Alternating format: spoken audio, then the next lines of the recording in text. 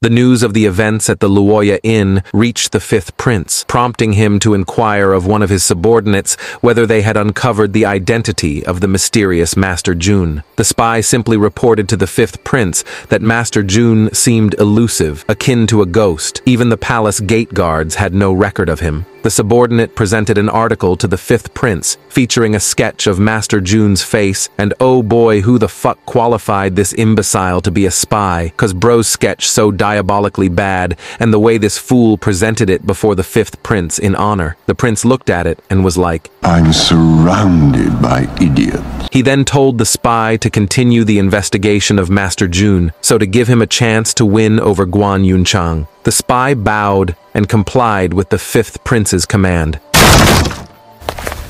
Nan Yuxin, one of the beauties of Qin Yue Kingdom and a daughter of a general, and the one who had a marriage contract with Qin Jun, budged at the Luoya Inn, shouting for Master Jun to come out. Qin Jun was awakened by the shouting of Nan Yuxin. Meanwhile, Nan Yuxin approached the Luoya Inn reception counter annoyed. She ordered Qin Jun to come out. Seems she saw through our boy's masquerade. Qin Jun stepped out of his room to see who was shouting his name. Seeing it was Nan Yuxin, she recalled that this woman was dissatisfied with the previous owner's marriage contract, as she used to beat the previous owner. My lord called out Daji, approaching Qin Jun while feeling sleepy, held Daji's shoulder and hit her with the iconic.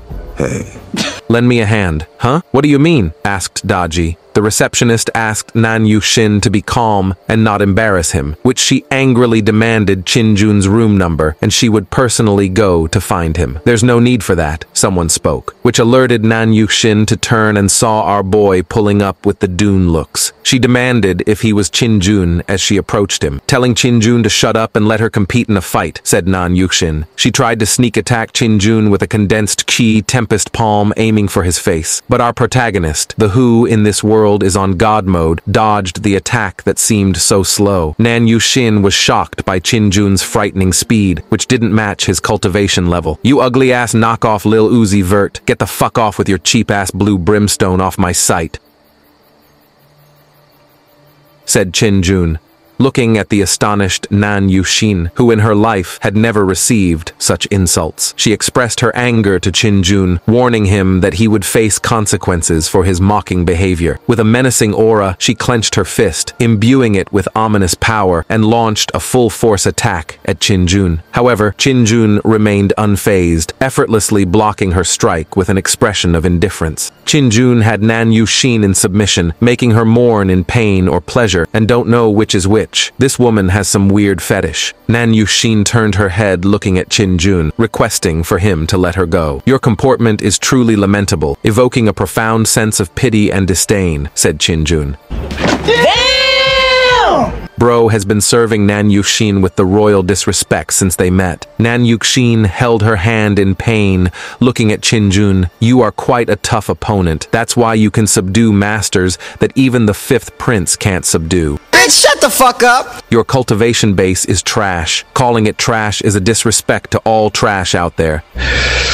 god damn. Please don't make a fool of your family because your family has power and this place has rules. Nan Yuxin, embarrassed, rushed towards Qin Jun, asking him, how is she fooling around? Please behave yourself. You are a woman. Hearing this made Nan Yuxin reflect on her actions and turned away, telling Qin Jun that she'll be back and walked out from the Luoya Inn. The Yan family patriarch, who helped Qin Jun enter the Qin Yue kingdom's capital, observed Qin Jun's composed demeanor amidst the situation. Contrasting this with the reckless actions of other influential lords, such as the Fifth Prince, he was impressed by Qin Jun's calmness, understanding that his leadership could lead to advantageous outcomes for his Yan family. Reaching his room, Qin Jun was relieved that Nan Yuxin had not recognized him. Daji called out Qin Jun to return her.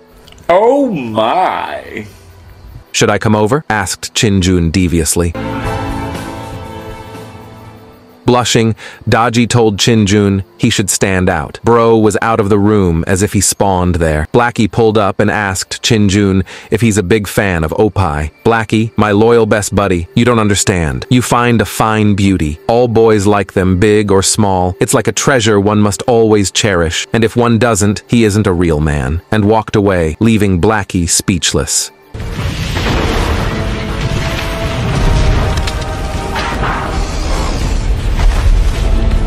Two hours later. Nighttime at the Luoya Inn, Qin Jun was waiting for that glorious notification sound. Notifying him, he had conjured the Van Bay Chamber of Commerce, and he gained 4,000 XP and a random draw chance. Seeing the system notification, Qin Jun realized that Yan Mo Bei, the patriarch of the Yan family, had decided to follow him and be under his protection. System, start lucky draw, said Qin Jun. Starting lucky draw, answered the system. Bro summoned the silver dragon spear from the story of the journey to the west. This shit is so broken that it annihilates demons faster than skipping YouTube Ads. Like the name, it's pretty domineering, and it's quite inferior, even though it's a heavenly weapon that weighs 5,000 kilograms. This fucker really looked down upon a heavenly grade weapon. This brother needs some astronomical whips. He requested the system to take out the silver dragon spear and those two-brained cells of a protagonist, reached out his hand, ready to catch a 5,000 kilogram spear. When he held the spear in his hand, this single brain cell protagonist like plankton, is on standby when the weight dragged him to the floor, breaking the ceiling,